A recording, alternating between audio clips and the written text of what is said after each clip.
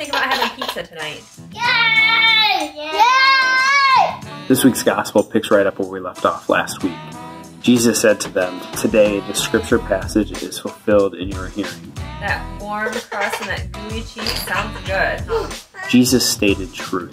Can I get a large cauliflower crust pizza with spinach, peppers, onions?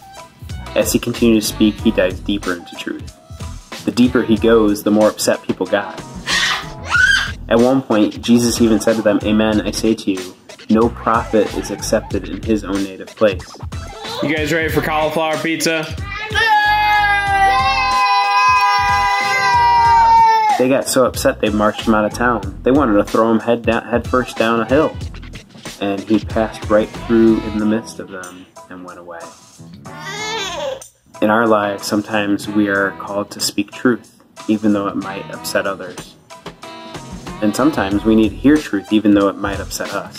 How do we know if we're called to speak or hear truth? Our challenge for you this week is to have a heart and mind of prayer, to be in tune with those moments that God is calling us to know truth, whether it's to hear it or speak it. Join us in this Scranton adventure Family at I love my family.us. And we'll meet you in the Eucharist this Sunday. And remember how truly and deeply God, God loves you.